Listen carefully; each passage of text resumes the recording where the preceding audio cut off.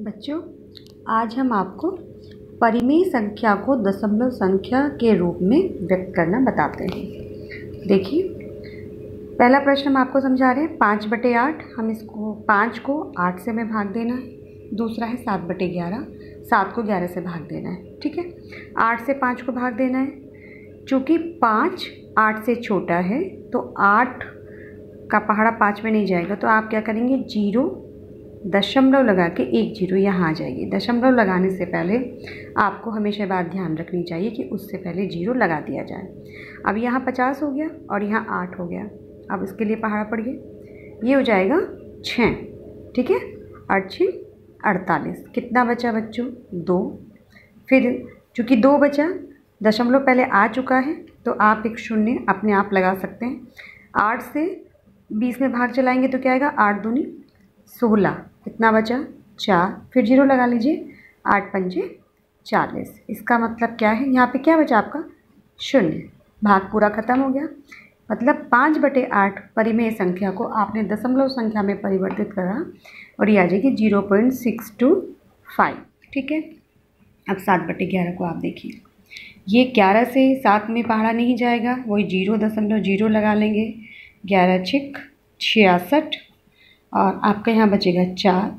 फिर ज़ीरो लगा लेंगे, ग्यारह तिया तैंतीस कितना बचेगा बच्चों? सात। फिर ज़ीरो लगा लेंगे, फिर ग्यारह छिक छियासठ। फिर आपका चार बचेगा, ज़ीरो लगा लेंगे, ग्यारह तिया तैंतीस फिर सात बचेगा। आप देख रहे होंगे, यहाँ भी सात बचा, यहाँ भी सात बचा। इस तरह क्या होगा बच्चों? ये प्रक्रिया ऐसे ही चलती रहेगी। यहाँ तो कटने के बाद शून्य आया, लेकिन यहाँ दो बार भाग देने के बाद आपका सात बच जाता है। शेष बचता ही चला जाता है और आगे तक बच, होता ही रहेगा। तो आप इस सात बटे ग्यारह को क्या लिख सकते हैं? ज़ीरो पॉइंट सिक्स थ्री, ठीक है? फिर सिक्स थ्री और एंड सॉन आते ही रहेगा। ठीक है? आपने ये देख लिया कि जब हम किसी परिमेय संख्या को दसों में बदलना चाहते हैं तो कुछ संख्याएँ तो ऐसी हैं कि जिसमें पूरा पूरा भाग चला जाता है और अंत में शून्य बचता है। कुछ भाग ऐसे हैं कि जिसमें शेष बचता है और उसी की पुनः पुनरावृत्ति हो जाती है। अब इन्हीं को हमें आपको बताना है कि ये एक तो अंत होने वाली दशमलव संख्या होती है, उनको शांत दशमलव संख्या बोलते हैं। और एक ऐसी संख्या होती है जिसमें अंत नहीं होता, जैसे यहाँ शेष बचा है, उन्हें अशांत दशमलव संख्या बोलते हैं। कैसे उन संख्या को पहचाना जाए? कुछ उदाहरण हम आपको बताते हैं। जैसे तीन बटे चार, सात बटे पाँच और तीन बटे बीस। इसको हम आपको अलग अलग भाग दे के दिखाते चार से हमने तीन को भाग दिया, दशमलव लगा के, पॉइंट लगा के ज़ीरो लगा लिया, सात चौ, अट्ठाईस, दो, फिर ज़ीरो लगा लीजिए। चार पंजे बीस। ये भाग आपका पूरा पूरा चला गया। तीन बटे चार को आप क्या लिख सकते हैं? Zero point seven five. ठीक है?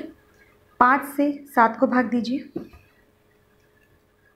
पाँच एकम पाँच, दो। पॉइंट लगाया, दो में पहाड़ा लीजिएगा तो ज़ीरो हो जाएगा। पाँच चौके बीस। कितना आ जाएगा? सात बटे पाँच को आप क्या लिख सकते हैं? एक दशमलव चार। अब अगला प्रश्न देखिए। बीस से तीन को भाग देना है। ठीक है? नहीं जाएगा, ज़ीरो पॉइंट ज़ीरो लगा लेंगे। बीस से कम बीस। दस बचा, ज़ीरो लगा लीजिए। बीस पंजे सौ। आपने देखा, ये तीनों के तीनों भाग पूरे हो गए और यहाँ भी शून्य बचा, यहाँ भी शून्य बचा और यहाँ भी शून्य बचा। ठीक है? इसका मतलब है कि तीन बटे चार, सात बटे पाँच और तीन बटे बीस।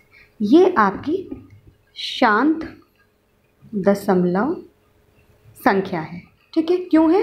क्योंकि इनका भाग पूरा पूरा चला जाता है और अंत में आपका क्या बचता है?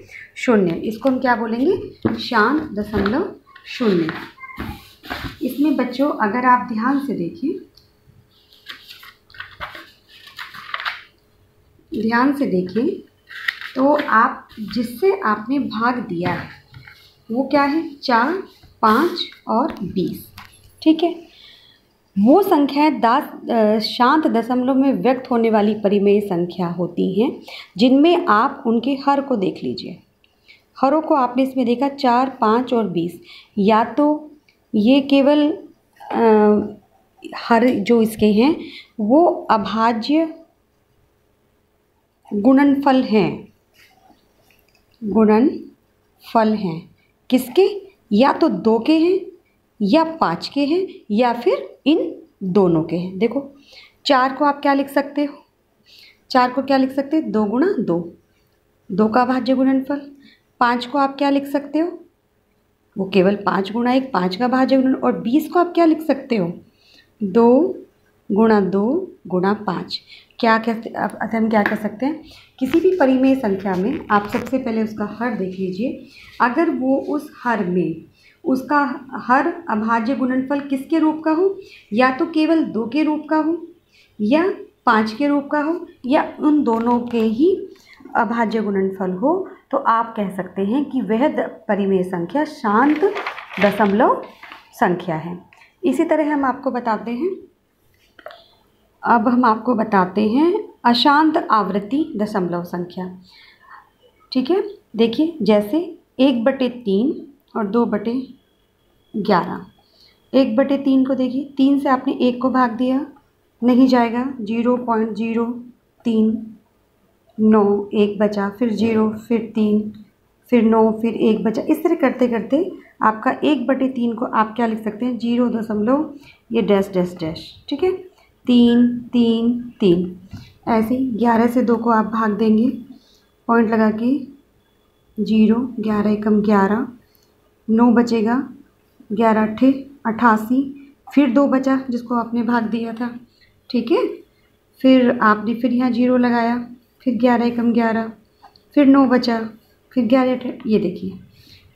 दो बटे ग्यारह को आप क्या लिख सकते हैं? Zero point one eight one eight and so on कहने का मतलब है, इसमें आपका हर शेष वही बचेगा जिसमें आपने भाग दिया था और उसी की पुनरावृत्ति होनी शुरू हो जाती है।